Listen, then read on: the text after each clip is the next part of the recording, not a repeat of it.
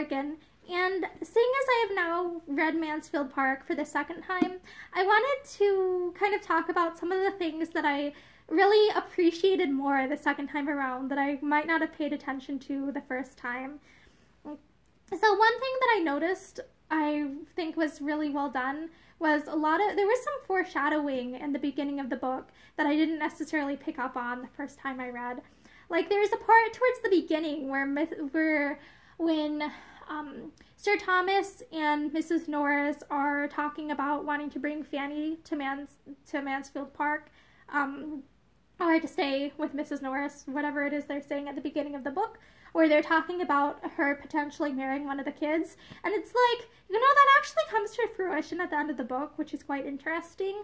And as well, like the bickering of Miss of Mrs. Norris and Sir Thomas, I think is interesting because it shows like their dynamic is such where it's, where it's like eventually they do end up having a rift and their bickering ends up like with the two characters separating from each other's company.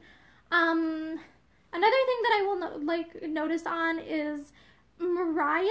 It, like the second time around reading, knowing what I know about her, it's like okay, she definitely. There are times when it's like her flirtations might not be necessarily noticeable to a modern audience because like there were different expectations of what is or isn't polite behavior in, previous uh, places and cultures than we necessarily have now. But it's like she definitely was. We see that she and Mr. Crawford like they they are obviously like they have an attachment to each other of some sort and I'm also noticing that Maria was like a lot more. She's one of those selfish, like, what's the word? She's like, like, I would almost describe her as like a mean girl where she's like, she wants to be superior to everyone else. She wants other people to look up to her. And like, she's kind of, there are times when it's like, she's kind of like, put, like, it seems like she gains um, self fulfillment from putting people like Fanny down and uh, and it's like it it's more it was more noticeable to me the second time reading it. And things like fanny being like her as like when like when she offers to help mr rushworth like um during the play help him memorize his lines it's like we really get to see like how much goodness of character she has. Like she's extremely patient. And I, I noticed more this time around like instead of because the first time i read it i was i was like why doesn't she want to be in this play? And um part of that is now i know that lovers vows was kind of like the plot line of it is something where it's kind of scandalous whereas to us it's like we wouldn't necessarily know that context at least until like um, like the first time reading through um and so, like, I see a lot more of her patience coming through because I'm not so preoccupied. I mean, like, why doesn't she want to do this? Um, and she she has a lot of patience and like she she also it kind of feels at times like she's kind of being like emotionally abused. Like Mrs. like Aunt Norris, it's like she's there are times where she's just downright downright like really hostile and she's in a position of power over Fanny. Um, and there are times when it's like she knows that Fanny's like always do- like always doting and always doing everything like as soon as she's asked. Like we see that throughout that Fanny's actions are such where she's always being helpful. She's always putting things down at a moment's notice to go help either of her aunts. So when I see Mrs. Norris like downright saying, "Oh, Fanny, like you, could have done this so easily." It's like if Fanny Fanny would choose to do those things so naturally. So when she's so when Mrs. Norris is saying these things, it's like it kind of feels like she's just purposefully trying to hurt Fanny. Like these aren't like genuinely like good desires. It seems like she just wants to control Fanny or belittle Fanny or hurt Fanny or make Fanny feel obligated to her in some way.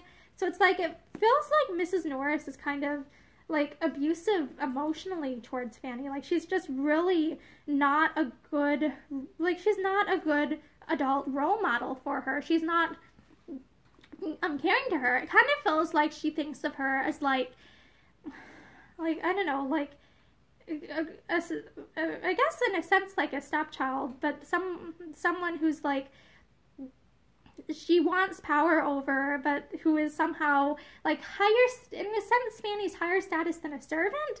But on the other hand, it's like she's treated less well than like the housekeeper and that at um Mr. Rushworth's house when they go to I think it's Sotherton and she she said Mrs. Norris is saying all these good things about the housekeeper and her cheese and it's like in a sense Fanny's treated worse than the housekeeper so and other things that I I noticed or paid attention to this time around are like Mr. Crawford's a lot creepier because as like as a teenager it's like you don't necessarily realize just how creepy a guy not accepting no for no is when you but when you're like older it's like he is freaking creepy like poor Fanny. Poor poor Fanny. I am sorry she ever had to put up with Mr. Crawford. He is like he is awful in my humble opinion. And um other details that I noticed would be at Fanny's house at Portsmouth like the way that the the basically the house being in disarray, the way that the servants aren't taking care of things, like those two, I think like a, an, an earlier audience, someone from the Regency or Vic, or later Victorian period, like how well a house was kept up was considered to be like a reflection of of a woman and like her ability to run a house and keep it in good order was supposedly like a reflection on her. And so that kind of like would have been something i think that to a reader in previous times might have been taken as like a reflection on and like a reflection of like lack of ability to be like responsible and stuff. Whereas today i think we mostly just see this as like a marker of like like oh those those poor things. Like look at how much this poverty is bringing on her. Whereas it's like i think in that time period like the ability to run a house was kind of a woman's full-time job essentially.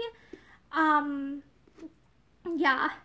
And like other things that are like strange to me reading like like reading back would be things like um Susan like Susan like the way that we see that um Fanny's mom has like I see clear favoritism in her this time around. Like it's clear to me that like she obviously doesn't care very much about like Fanny and Susan and things like the traveling library that it's like Fanny had to pay when she was securing books for Susan and her like she's putting down money to be able to rent those books. So I kind of realized this time around that it's like, wow, literature really wasn't accessible to the to people who aren't financially well off. Like Fanny's having to pay money to just rent books, which is kind of can be kind of like shocking because now like nowadays at least in my country there are frequently public libraries where you can rent books for free for self-improvement. So yeah, and I also like the ending this time around feels a little bit more like fulfilling because I like like I think a lot like me and I think a lot of people also like we want pretty happy endings, like really long drawn out like the, the, since the characters have been working up so long to get together, we want our happy, lovey-dovey romance ending. And so it, it's, it kind of felt like originally like a letdown to me. Like Edmund and Fanny getting together is so short, so concise. But I feel like now that this the story isn't primarily like a romance story. I feel almost like kind of in a sense like it's kind of a morality tale.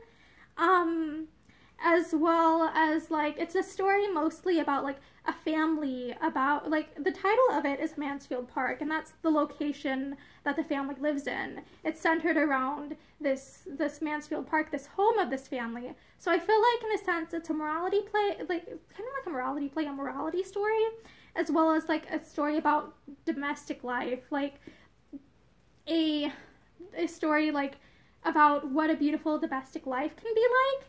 And so I feel now that this, like, it not having a beautiful lovey dovey big romance scene in the end kind of feels like okay if i don't think of this as a romance novel then i can accept that a little bit more. So yeah i also still think that this is really interesting for learning about like I would say like what societal expectations were at this time period, as well as like what some of the realities were for for different people. And something else that I did pick up on is even though like Fanny's Fanny Price's fa- like family, Mr. and Mrs. Price, that even though we think of them as quite poor, they're employing a servant, so that would put them as like I think that would put them as at least middle class just a, a poorly run middle class like household is how I would place them. If you're employing a servant if, below you, like that that doesn't make you like in that time period. I don't think of them as being like poor poor. They're still within the like they're still within the middle class. So I do think it's interesting the way that like class in this novel is like because we don't really see much from the people who are truly poor. We think of Fanny as being quite poor, but I think that she's slightly better off than we might immediately think of her as. Um, so yeah, I felt like this was a really good read, and thank you for tuning in and listening to me read this book. Have a great day.